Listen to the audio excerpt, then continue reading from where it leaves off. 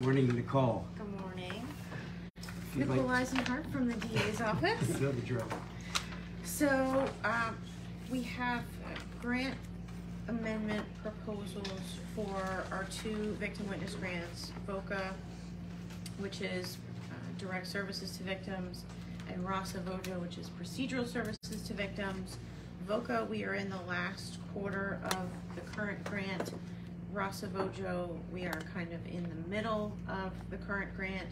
The reason for the modification is because we had filed a modification uh, last year requesting funds be reallocated for Mhm. furniture because of our potential move. Uh, we ended up, as did some other agencies in the county, got some furniture free from the federal government when they decided they weren't going to take their furniture to their new building. So the funds that we had budgeted for that, we wanted to use more efficiently since we don't need to do that. And some of this money expires at the end of September, so we don't want to lose anything. Um, There's a thousand dollars that's budgeted for the expenses related to getting everything here. Also, some glass needed to be replaced for some of the furniture items that either had glass that was missing or that got damaged in the course of the move. That's the, the bulk of the changes. Uh, Some of the items that we still need to purchase would be the televisions and kits that go along with the televisions, uh, as well as some additional chairs for waiting areas. That is stuff that was budgeted previously, and we're not removing that. We're removing some conference tables and chairs and uh, cubicles for office staff. That stuff's been removed. So that's the bulk of the PMR requests. Some of the money in VOCA that wasn't spent on those uh, was already kind of spent for overtime uh, for Beth Hope due to the homicide trials. Um, That's stuff that is paid out regardless. It's just a matter of now it's reflected more accurately in the budget than it was before. And then in RASA and VOJO, we needed to change the jobs of two of our staff.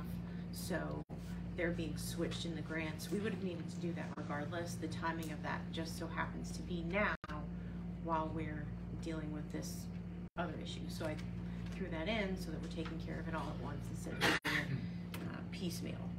It doesn't change the end numbers to the county. We get the same allocation regardless. It's just how we end up spending it. So I wanted to make sure we were using the money appropriately so that we didn't need to purchase the furniture. We're not gonna waste money that we don't need to spend. So that was the primary reason. Do you need two uh, votes, or can we do them? Uh, since they're two separate grants, I would suggest one for each. Okay. Take the VOCA first. Sure. Make a motion to approve uh, VOCA uh, application as submitted. Second. Okay, it's been moved and seconded. Any questions? Not all in favor, please indicate by saying aye. Aye. Aye. Opposed, same sign, so moved. And motion for the second. I make a motion uh, to approve the second round of grants. Second. Okay, It's been moved and seconded that we approve the rest of FOJO grant uh, reallocation. Any questions regarding the motion? Hearing none, all in favor, please indicate by saying aye. Aye. Opposed, same sign, so moved. Anything else, Nichole? That's it. Thank you. All right, thank you. I had sent up the signature sheets. Do you have those? I have another copy. Yeah. Okay, Yep, we got. thank you. And then Thank you. you'll just let me know. Okay.